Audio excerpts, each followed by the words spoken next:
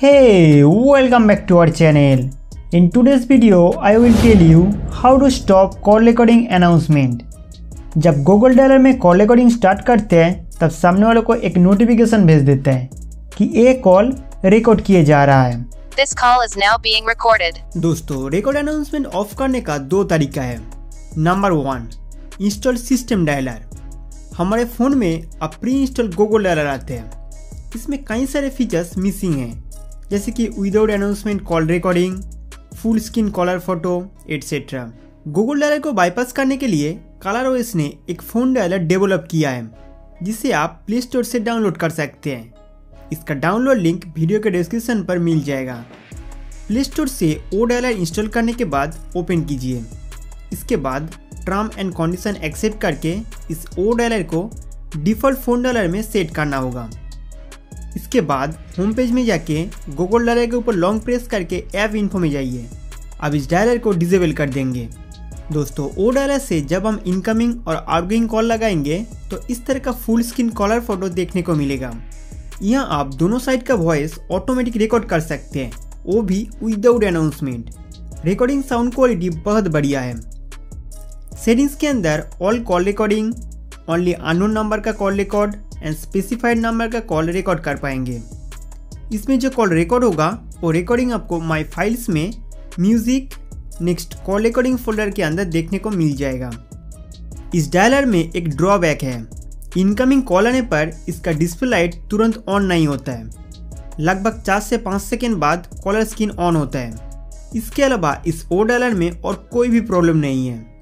Number two bypass announcement अगर आप Google dialer use करना चाहते हैं तो सेकेंड मेथड से इसका अनाउंसमेंट बाईपास हो जाएगा। पहले गूगल प्ले स्टोर से एक एप्लीकेशन इंस्टॉल करेंगे। फिर उस एप्लीकेशन से रिकॉर्ड अनाउंसमेंट बाईपास करके उस एप्लीकेशन को ही अनइंस्टॉल कर देंगे, ताकि आपका प्राइवेसी सेफ़ रहे।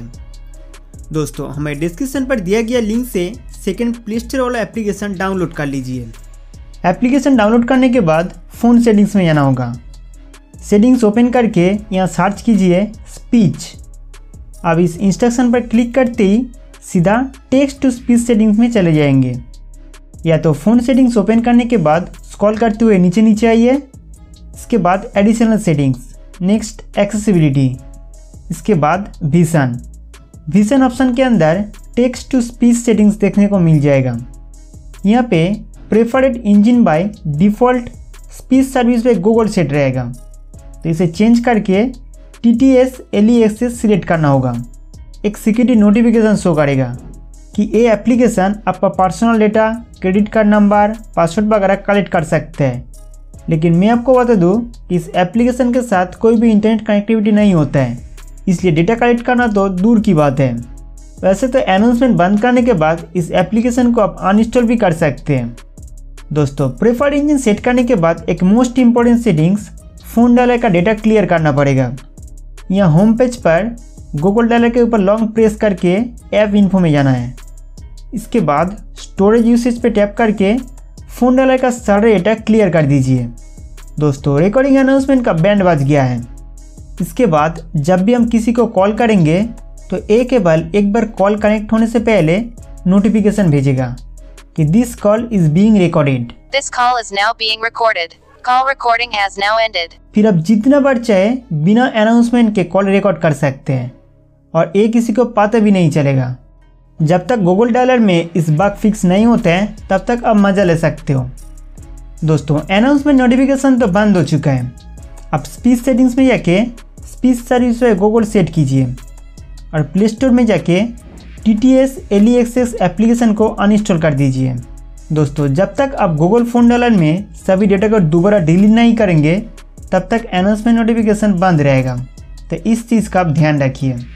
तो दोस्तों, उम्मीद करता हूँ कि ये वीडियो आपके लिए बहुत हेल्पफुल था। तो इस वीडियो को लाइक करके हमारा चैनल सब्सक्राइब करना ना भूलें।